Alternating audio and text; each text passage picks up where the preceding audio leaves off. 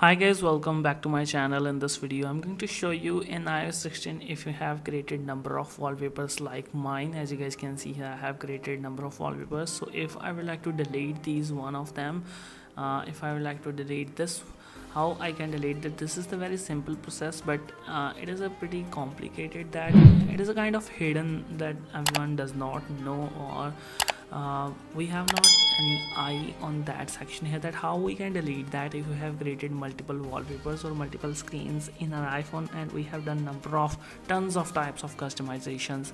So how to do this? In the ios 16 there are number of features tons of features new and integrated in ios 16 by apple. That pretty much helpful for us also.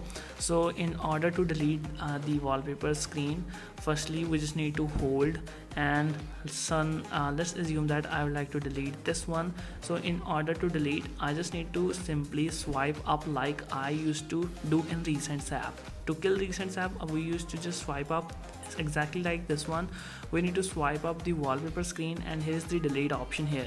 So just click on delete option and you will be good to go. So this is the only simple fix. You can delete your wallpaper profiles or any type of focus mode you have invented or you have applied on your wallpaper screen here. So hope you guys find this method find this easiest trick helpful.